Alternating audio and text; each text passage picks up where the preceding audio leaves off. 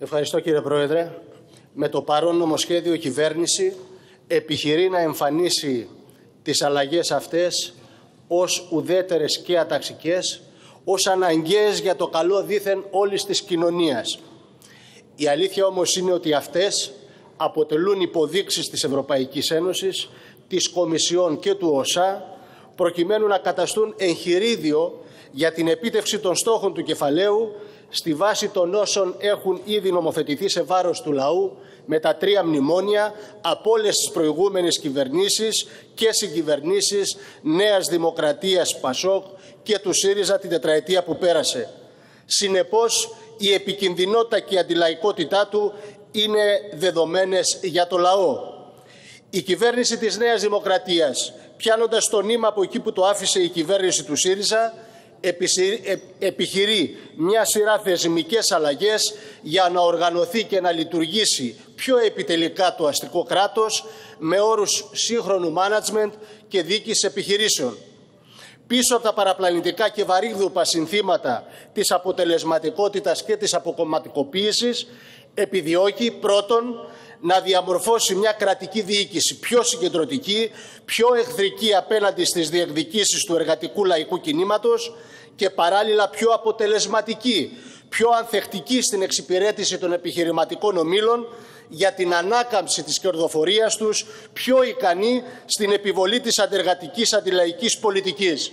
Δεύτερον, να διαμορφωθεί ένας πυρήνας ανώτερων κρατικών υπαλλήλων που θα εξασφαλίζει τη συνέχεια αυτής της πολιτικής ανεξάρτητα από την εκάστοτε πολιτική συγκυρία, την όποια κυβερνητική εναλλαγή ή την παρέμβαση του λαϊκού παράγοντα. Και τρίτον, να ανακτήσει την εμπιστοσύνη των πολιτών προς την εκτελεστική εξουσία, όπως λέει η έκθεση αξιολόγησης. Δηλαδή, η τελευταία να ανακτήσει τη χαμένη της αξιοπιστία από ευρύτερα λαϊκά εργατικά στρώματα υπό το φόβο μιας γενικευμένης αμφισβήτησής της. Γι' αυτό και παρουσιάζει η κυβέρνηση τις αλλαγές στο αστικό κράτος απλά ως τεχνοκρατικές για να χαθούν στην αμετροέπεια των διακηρύξεων και να θολώσει το ταξικό τους πρόσημο.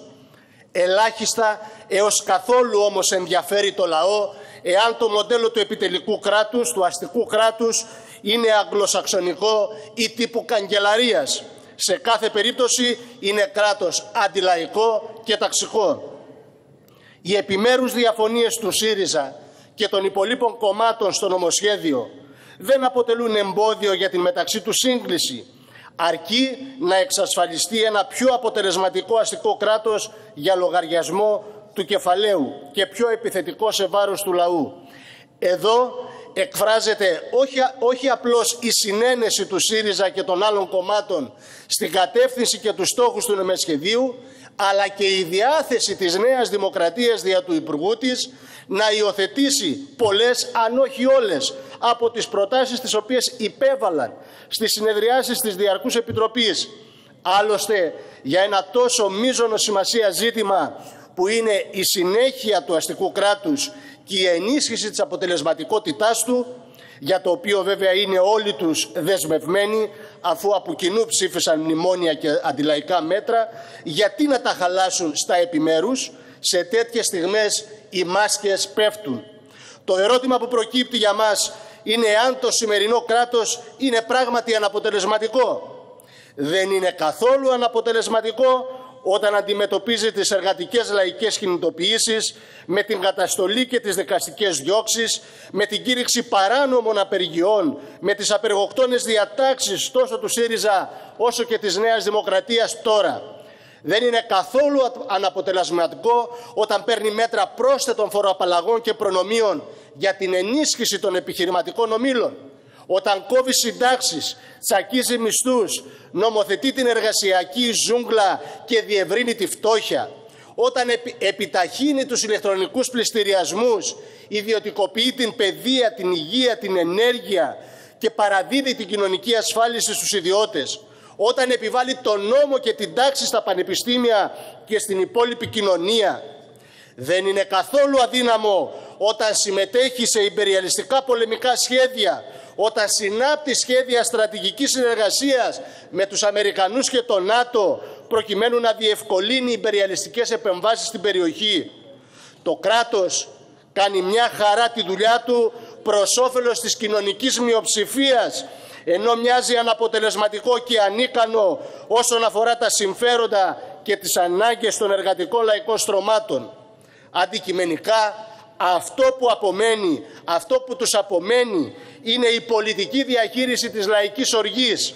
Πώς δηλαδή η αγανάκτηση, η διαμαρτυρία θα μείνουν εντός πλαισίου, θα προσανατολιστούν στην ανικανότητα θεσμών, προσώπων, μηχανισμών, στην ανευθυνότητα υπουργών, θα χρεωθούν στη μία ή στην άλλη πολιτική δύναμη, αλλά ποτέ, μα ποτέ στον ταξικό χαρακτήρα του κράτους. Ποτέ, μα ποτέ στον ταξικό χαρακτήρα των κυβερνήσεων και των κομμάτων που βρίσκονται στη διακυβέρνηση ανεξάρτητα από το μείγμα διαχείρισης που πρεσβεύουν. Κυρίες και κύριοι, στο νομοσχέδιο προωθούνται μια σειρά ρυθμίσεων που διαμορφώνουν μία ακόμα πιο συγκεντρωτική, ευέλικτη και σκληρή κρατική διοίκηση ικανή να προωθεί χωρίς καμία καθυστέρηση σε όλους τους τομείς όλα όσα απαιτούνται για τη διαμόρφωση ενός περιβάλλοντος φιλικού προς επενδύσεις. Στην έκθεση συνεπειών του νομοσχεδίου γίνεται λόγος για την ανάκτηση της εμπιστοσύνης των επενδυτών στους θεσμούς, την ασφάλεια δικαίου και την αποφυγή γραφειοκρατικών αγκυλώσεων ώστε να μπορούν να υπολογίσουν τον εκτιμόμενο χρόνο διεκπαιρέωσης των εργασιών τους και να θέτουν χρονοδιαγράμματα που θα μπορούν να ακολουθήσουν με συνέπεια. Δηλαδή, προβλέπει κωδικοποίηση στην νομοθεσία στη βάση του αντιδραστικού ευρωενωσιακού δικαίου με την επικαιροποίηση και μονιμοποίηση του αντιλαϊκού πλαισίου και των μνημονίων, διαδικασία που είχε ξεκινήσει η κυβέρνηση του ΣΥΡΙΖΑ ώστε να επιτευχθεί η μείωση της γραφειοκρατίας για τις επενδύσεις και τους επιχειρηματικούς ομίλους. Ένα τέτοιο κράτος θέλουν οι καπιταλιστές. Μια καλοχουρδισμένη μηχανή που θα υπηρετεί την ανταγωνιστικότητα και την κερδοφορία των επιχειρηματικών ομίλων, τα συμφέροντα του ΝΑΤΟ, των Αμερικανών και της Ευρωπαϊκής Ένωσης. Αυτό το κράτος υπηρετεί η Νέα Δημοκρατία, το υπηρέτησε και ο ΣΥΡΙΖΑ στα τέσσερα χρόνια της διακυβέρνησής του. Μόνο εάν φανταστεί κανείς τον ενιαίο και αδιέρετο μηχανισμό ενός κοινού μηχανικού ρολογιού όπου το κάθε μικρό ή μεγάλο γρανάζι του μπορεί να κινηθεί μόνο σε συστοιχεία και συγχρονισμό με τα υπόλοιπα, τότε θα μπορέσει να κατανοήσει βαθύτερα και τον ενιαίο χαρακτήρα του πολυπλόκαμου μηχανισμού του αστικού κράτους και των επιδιώξεών του. Αυτός ο στόχος διαπερνά όλες τις διατάξεις του νομοσχεδίου που αφορούν την οργανωτική αναδιάρθρωση και λειτουργία της κυβέρνησης και των κυβερνητικών οργάνων, όπως είναι το Υπουργικό Συμβούλιο, τα κυβερνητικά συμβούλια και οι κυβερνητικές επιτροπές για την οργάνωση της κεντρικής δημόσιας διοίκησης και τη σύσταση της Προεδρίας της κυβέρνησης ως αυτοτελούς επιτελικής δημόσιας υπηρεσίας. Στο πρώτο μέρος ενισχύεται ο επιτελικός ρόλος του Υπουργικού Συμβουλίου, ενώ διευρύνεται ακόμα περισσότερο ο ρόλος του Κεντρικού Συμβουλίου Οικονομικής Πολιτικής και του ΚΙΣΕΑ, έτσι ώστε χωρίς εμπόδια να υλοποιείται η αντιλαϊκή πολιτική. Μάλιστα, οι αρμοδιότητες του ΚΙΣΕΑ προβλέπεται ότι δεν θα περιορίζονται μόνο σε θέματα εθνικής άμυνας, αλλά όπως αναφέρεται στο άρθρο 5 θα διαμορφώνει τη στρατηγική εθνικής ασφάλειας, λαμβάνοντας υπόψη την εξωτερική και αμυντική πολιτική, την πολιτική δημόσιας τάξης, την πολιτική κυβερνοασφάλειας και ενεργειακής ασφάλειας. Θεωρείται ο πλέον προσφορότερος τρόπος για μια αποτελεσματική ολιστική κυβερνητική προσέγγιση στο ζήτημα της εσωτερικής και εξωτερικής ασφάλειας, υπηρετώντας τους στόχους της Ευρωπαϊκής Ένωσης και του ΝΑΤΟ, όπως αυτοί διατυπώθηκαν στην κοινή δήλωση Ευρωπαϊκής Ένωσης και ΝΑΤΟ στη Βαρσοβία το 2006, την οποία συνυπέγραψε η κυβέρνηση ΣΥΡΙΖΑ ΝΕΛ και συνεχίζει σήμερα η Νέα Δημοκρατία. Στο δεύτερο μέρος, αναφορικά με τις αρχές καλής διακυβέρνησης της κεντρικής διοίκησης, όπου η αρχή της αποτελεσματικότητας και αποδοτικότητας οφείλει να κατατείνει στην εκπλήρωση της αποστολής της με τη χρήση των λιγότερων κατά το δυνατόν πόρων συνιστούν ρόλο μιας πιο γρήγορης και αποτελεσματικής υλοποίησης της αντιλαϊκής πολιτικής βάσει των δημοσιονομικών δεσμεύσεων και του μακροπρόθεσμου με λιγότερους πόρους που αυτό θα σημάνει μείωση των κοινωνικών δαπανών, περαιτέρω μείωση των κοινωνικών δαπανών στην παιδεία, την υγεία και αλλού. Η σύσταση της νέας υπηρεσίας της Προεδρίας της Κυβέρνησης πλάι στον Πρωθυπουργό, η οποία θα συντονίζει και θα ελέγχει το κυβερνητικό έργο, συνιστά ακόμα πιο σφιχτές διαδικασίες στην προώθηση της αγγελαϊκής πολιτικής και την επικοινωνιακή στρατηγική για την αποδοχή της από το λαό. Ο νέος ρόλος της Γενικής Γραμματείας Επικοινωνίας και Ενημέρωσης που εισάγεται στο σχέδιο νόμου και υπάγεται στον Πρωθυπουργό θα συνεχίσει τον ήδη ασφιχτικό εναγκαλισμό και έλεγχο των κρατικών μέσων μαζικής ενημέρωσης για την αποτελεσματικότερη προπαγάνδηση της κυρίαρχης πολιτικής. Η αντικειμενική και πλουραλιστική ενημέρωση του λαού μόνο ως ανέκδοτο μπορεί να εκλειφθεί. Ο προγραμματισμός και παρακολούθηση του κυβερνητικού έργου στο τρίτο μέρος του νομοσχεδίου, καθώς και η αξιολόγηση αυτού, δεν μειώνει καθόλου το ρόλο του ταξικού αστικού κράτους για την εξυπηρέτηση των συμφερόντων της αστικής τάξης και των επιχειρηματικών ομήλων. Αντίθετα, ενδυναμώνεται ο ρόλος του γίνεται πιο σφιχτή η παραγωγή, η παρακολούθηση της υλοποίησης αλλά και των προσαρμογών που απαιτούνται για την υλοποίηση αυτής της πολιτικής που θα είναι φιλική στους επιχειρηματικούς ομίλους. Το ενοποιημένο σχέδιο κυβερνητικής πολιτικής είναι προσαρμοσμένο στους στόχους και τις προτεραιότητες του προπολογισμού της γενικής κυβέρνησης, άρα και του μεσοπρόθεσμου πλαισίου δημοσιονομικής στρατηγικής, δηλαδή της πολιτικής της κυβέρνησης που συνιστά μακρόχρονη λιτότητα για τα λαϊκά στρώματα με ματωμένα πρωτογενή πλεονάσματα μέχρι το 60 όπως έχει συναποφασιστεί με την Τρόικα και κάθε φορά νομοθετείται από την κυβέρνηση και τη Βουλή.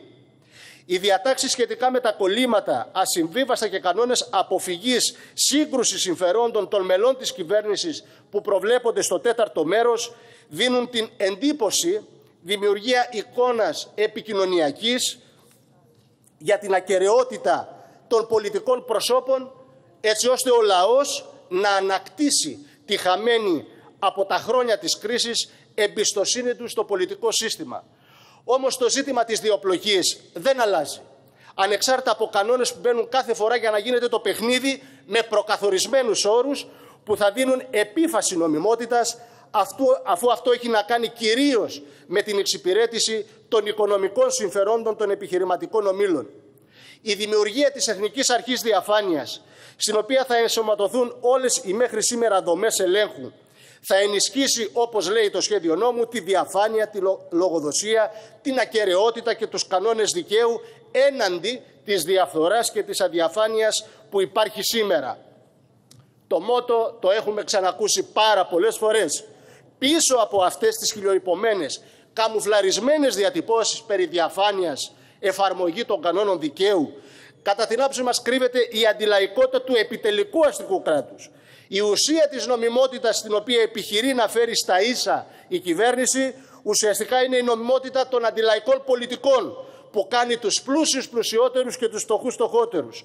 Είναι η νομιμότητα της ανεργίας, της ανασφάλισης εργασίας, της δουλειάς μέχρι τον τάφο, των εργοδοτικών εγκλημάτων και των υπεριαλιστικών πολέμων. Το δίκαιο λοιπόν δεν είναι τίποτε άλλο παρά η θέληση της κυρίαρχης τάξης εκφρασμένη σε νόμους.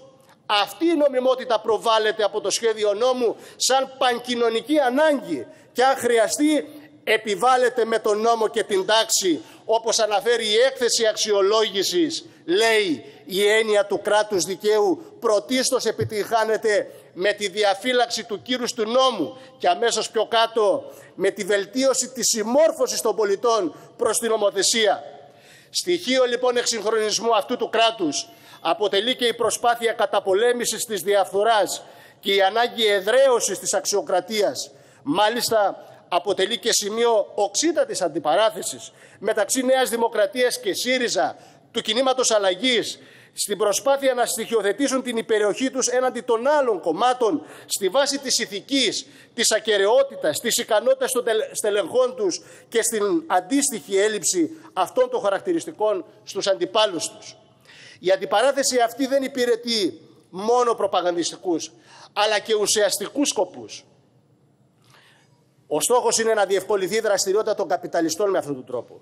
Το γεγονός, για παράδειγμα, της ισότιμης πρόσβασης των επιχειρηματικών ομίλων σε διαγωνισμούς ή η απλοποίηση των διαδικασιών για επενδύσεις αποτελούν ζητήματα που πράγματι αποτελούν ανασχετικούς παράγοντες για τους καπιταλιστές. Τι εννοεί η κυβέρνηση και οι διάφοροι αριστεροδέξιοι υπερασπιστές του καπιταλισμού, κυβερνήσεις, κόμματα, Ινστιτούτα, προσωπικότητες με τον όρο διαφθοράς, Μήπως εννοούν για παράδειγμα τη διατήρηση από όλες τις κυβερνήσεις του νόμου που καθορίζει 60 ειδικές φοροαπαλλαγές που απολαμβάνουν οι εφοπλιστές; Μήπως εννοούν τη μείωση των φορολογικών συντελεστών των μεγάλων επιχειρηματικών ομίλων και ταυτόχρονα την εκτείναξη της φορολόγησης και το χαράτσωμα του λαού; Μήπως εννοούν την απλόχερη κρατική στήριξη των τραπεζών τη στιγμή που πετσοκόβονται οι κρατικές δαπάνες για παιδεία, υγεία, κοινωνική ασφάλιση; Μήπως τελικά θεωρείται διαφθορά η ψήφιση νόμων που μειώνουν μισθούς και συντάξεις και αυξάνουν τη φορολόγηση των λαϊκών στρωμάτων; Σε καμία περίπτωση τα παραπάνω δεν θεωρούνται φαινόμενα διαφθοράς στον καπιταλιστικό κόσμο. Αντίθετα, η νομοθετική δραστηριότητα προς όφελός του, προς όφελος του ευνοϊκού επενδυτικού περιβάλλοντος, προς όφελος δηλαδή του κεφαλαίου, θεωρείται απαραίτητος όρος κάθε κράτους που σέβεται τον αστικό του χαρακτήρα το δίκαιό σας, έλεγε ο Μάρξ, είναι η θέληση της τάξης που αναγορεύτηκε σε νόμο. Για να προσδιορίσουμε λοιπόν το πραγματικό περιεχόμενο που αποδίδουν στον όρο διαφθορά τα κόμματα και οι μηχανισμοί του συστήματος, πρέπει να δούμε τη διαφορά μεταξύ της παρούσας νομοθετικής πρωτοβουλίας και αυτών που χαρακτηρίζουν ως σκάνδαλα. Όταν αναφέρονται στη διαφθορά εννοούν το προσωπικό ή το συλλογικό πλουτισμό που προκύπτει από παράβαση του νόμου. Στην κατηγορία αυτή δεν εντάσσουν όμως τον καπιταλιστικό πλουτισμό που προκύπτει από την πιστή εφαρμογή του νόμου. Αυτή η παράβαση συνδυάζεται συνήθως με τον χρηματισμό, τη δωροδοκία, την κατάχρηση, τον εκβιασμό τμήματων της αστικής τάξης. Γι' αυτό και το ζήτημα της διαφθοράς είναι κεντρικό στη συζήτηση για το επιτελικό κράτος. Άρα λοιπόν τι χρειάζεται το κεφάλαιο, τη διαφθορά, αφού έχει ένα ολόκληρο κρατικό μηχανισμό να δουλεύει υπέρ του και να μετατρέπει σε νόμο οτιδήποτε επιτάσσει η κερδοφορία του, το πρόβλημά τους δεν είναι η κερδοφορία γενικά, αλλά η μεγαλύτερη κερδοφορία του ενός έναντι του άλλου ανταγωνιστή, η ανάληψη ενός έργου από μια εταιρεία αντί μιας άλλης, η εξασφάλιση της συμμετοχής σε κάποια επιδότηση ή κάποιο πρόγραμμα αντί μιας άλλης, η απόκτηση μεγαλύτερη μεριδίου της αγοράς από μια εταιρεία έναντι των ανταγωνιστών. Είναι φανερό λοιπόν ότι η διαφθορά αποτελεί το απαραίτητο συμπλήρωμα της νόμιμης επιδίωξης του καπιταλιστικού κέρδους. Κυρίες και κύριοι, για το ΚΚΕ το κράτος το δίλημα μάλλον για την εργατική τάξη και τα λαϊκά στρώματα δεν είναι αποτελεσματικό ή αναποτελεσματικό κράτος. Αλλά εάν το κράτος θα είναι το αστικό επιτελικό κράτος ή το εργατικό λαϊκό κράτος. Το ΚΚΕ υπηρετεί το δεύτερο. Αυτό θέλουμε να οικοδομήσουμε. Από το λαό για το λαό. Ένα κράτος που δεν θα έχει στόχο τη στήριξη των κερδών των μεγάλων επιχειρηματικών ομίλων, αλλά θα στηρίζεται στην κοινωνική διοκτησία των μέσων παραγωγής, στον εργατικό λαϊκό έλεγχο, σε μια οικονομία που μπορεί να σχεδιάσει κεντρικά και αποτελεσματικά την οικονομία με κριτήριο μόνο την ικανοποίηση των σύγχρονων λαϊκών αναγκών. Τα επιτελικά όργανα της λαϊκής εξουσίας θα είναι οι παραγωγικές μονάδες, ολοκληρώνω κύριε Πρόεδρε, θα είναι οι παραγωγικές μονάδες, οι τόποι εργασίας. Μέσα εκεί θα εκλέγονται και θα ανακαλούνται όταν πρέπει οι εκπρόσωποι των εργαζομένων στα όργανα εξουσίας. Θα είναι ανεμπόδιστη άσκηση κριτικής σε αποφάσεις και χειρισμούς που εμποδίζουν την ανάπτυξη και ενίσχυση μιας τέτοιας λαϊκής οικονομίας. Εκεί θα κατακτιέται η διαφάνεια, εκεί θα καταγγέλλονται πάσης φύσεως και προέλευσης αυθαιρεσίες, γραφειοκρατία ή αρνητικά άλλα φαινόμενα. Για τους λόγους αυτούς, κύριε Πρόεδρε, κυρίες και κύριοι, το ΚΚΕ θα καταψηφίσει επί της αρχής το σχέδιο νόμου. Ευχαριστώ για την ανοχή σας.